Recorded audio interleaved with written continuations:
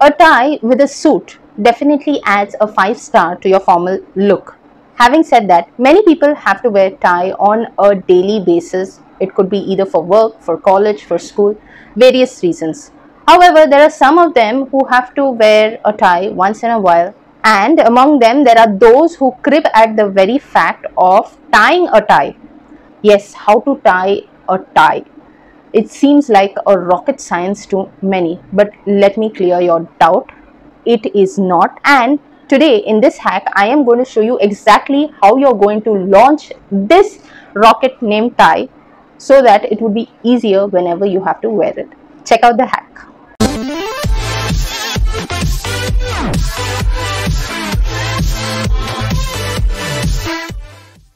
This is the tie that I will be using to show how y'all will tie the tie knot. Taking the front portion of the tie, I will hold it on the whole length from the tip of my hand till where my elbow is. Ensuring your pinky is stretched outwards, twist the loose end of the tie over the one which is on your hand. You'll do a first circle, a second circle like this over it and a third one.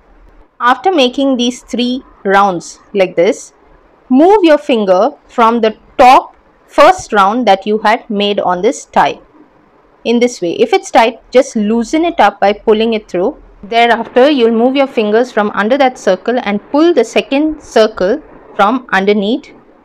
And then once you'll pull it outside in this way your knot is already formed. There you go.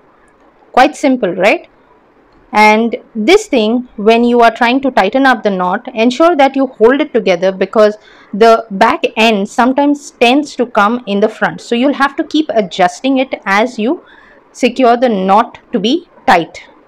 So once the knot is secure this is how your tie will look. Without much of an effort your tie is tied very neatly. You have that triangle kind of shape in the front and in case if you need to tighten it up just see that when you all pull it again you all are correcting the back portion as well. So hope you all like this hack. Also it's a request if uh, you all do not know i have released a new song so i will attach the link on the i button on top. You all can check that out.